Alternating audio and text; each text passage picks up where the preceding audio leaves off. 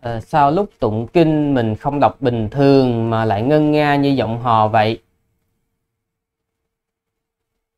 À, quý vị chờ sư một chút xíu. Ờ, chờ sư một chút xíu.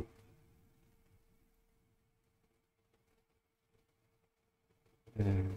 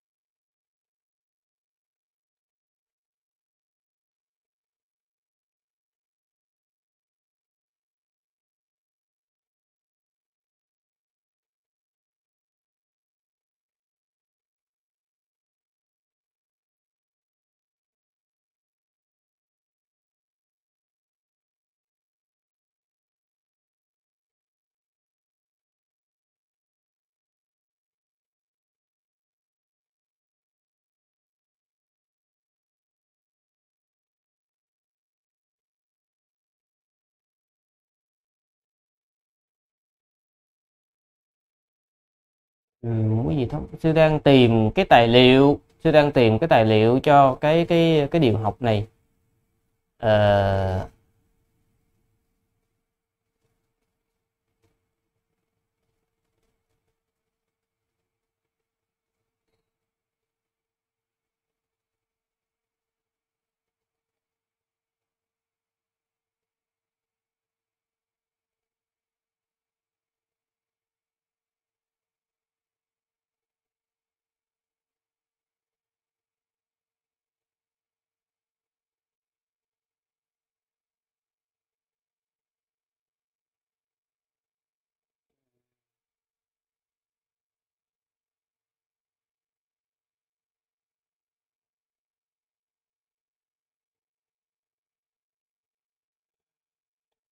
Thế bây giờ để không có mất thời gian của quý vị đó thì à, uh,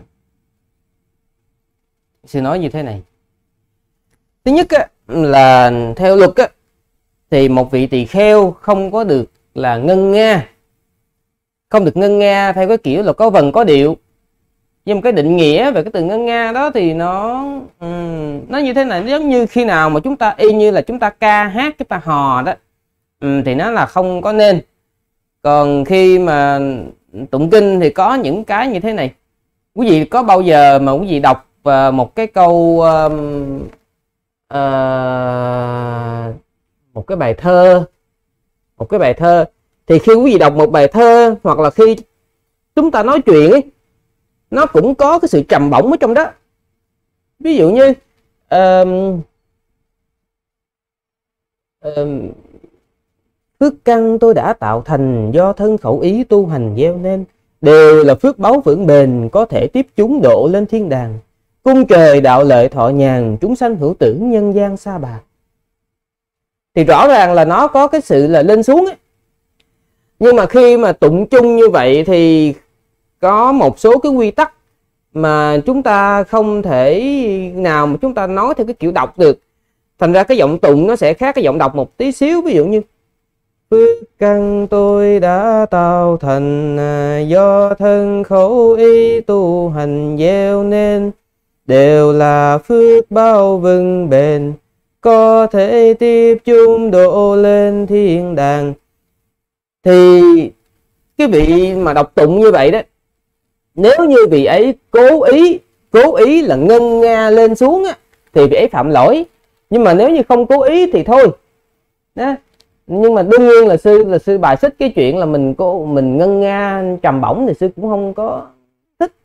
Không cũng không có muốn cái chuyện đó. Tại vì đức thế tôn đã nói là khi mà anh cố ý anh ngân nga thì nó có những cái tai hại. Đó là thay vì anh tập trung vào cái ý nghĩa của lời kinh thì anh lại cố gắng anh uh, ngân nga để cho nó hay cho cái giọng nó hay. Thì đó là cái điều không nên. Đấy.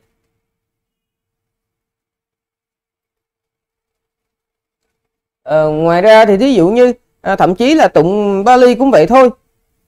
Ừ, ví dụ như là à, cái giọng đọc á, thì nó không có giống cái giọng tụng. Tại vì tụng là mình tụng tập thể đọc thì mình đọc một mình. Mình đọc một mình thì mình đọc không có ai theo mình được hết. Ví dụ như sư nói như vậy thì quý vị nghĩ làm sao mà quý vị có thể theo. Nhưng mà khi mà tụng thì nó phải có một cái tốc độ một cái tốc độ quy định, một cái tốc độ quy định.